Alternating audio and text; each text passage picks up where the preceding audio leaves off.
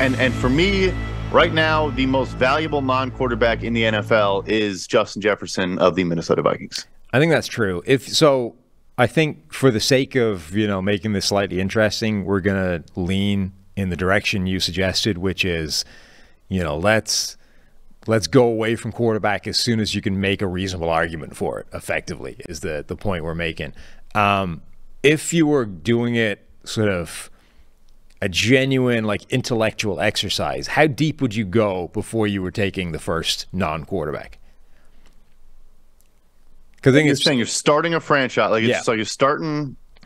Honestly, like this was where my list ended because I, I think you. I mean, look, I, Dak probably gets taken. I, I, think Dak is worth it. He's 28 years old, something like that. He could play for another 10 years for all we know, um, and, and is a very good football player in my opinion. So but I really do think at a certain point, I would be like, okay, you know what? Now, instead of taking the ninth or 10th best quarterback and, and, and so on, if that person I don't think has upside, right? If it's not like, all right, we're going to start talking Justin Fields or we start talking like guys we believe in. But for me, like, I'm not sitting there and drafting Jared Goff and Derek Carr and Kirk Cut. Like, I just, I would rather just you know, play somebody else and and try to draft that player going forward and build an elite offensive line for him to th- uh, work with or receivers to throw to.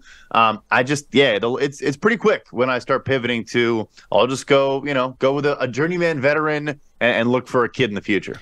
Yeah, because so it's not quite as clean as you know. I was just pulling up the WAR numbers, um, and if you use PFF WAR, obviously we know quarterback is so more so powerful relative to any other position when it comes to moving the needle for wins and losses that you have to go all the way down to number to 31 for the first non-quarterback in terms of value towards wins last season, and actually it's tied with Justin Jefferson and Tyreek Hill. So those are the two guys that you that are that are first off the board, but in this list of quarterbacks that are above those guys are backups or players that only played half the season. You know, Brock Purdy is worth more to last season's war than any other non-quarterback like to, than Justin Jefferson, even though he only played whatever it was six games or started six games.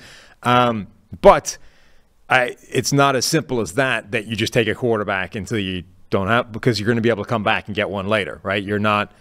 This is who you would start the franchise with. This is your franchise draft, your expansion draft from nothing. It's not you get one shot at a quarterback and then you're done.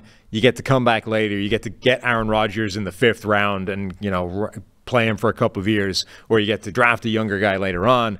So I think you do draft these guys higher. Dow, this is right where you're on the cusp. I think you can make a pretty solid argument that Prescott is significantly let's like a better option than anybody remaining when you consider age, when you consider what he can do with the right supporting cast that you do take him. But I'm okay going Justin Jefferson at this point. We give Dallas Jefferson and move on.